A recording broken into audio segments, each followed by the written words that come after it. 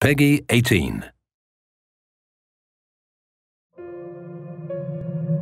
My beloved son. He's. He's. I don't trust them. You must help me, Mr. Pierce. a monster! Are you sure these paintings were hers? This creature is an insult to God. Cast it back into the sea.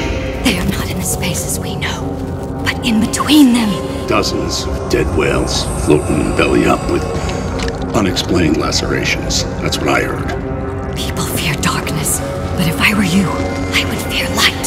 Fire was an accident. The case is closed. The bodies, they, they don't match! Turn back while you still can. There's nothing to find here. I I have seen things. Dreams of the deep, of, of, of a lightless city. Have you had those dreams as well? He's dreaming. He will awake. Mr. Pierce, have you ever questioned your own sanity? Maybe you should.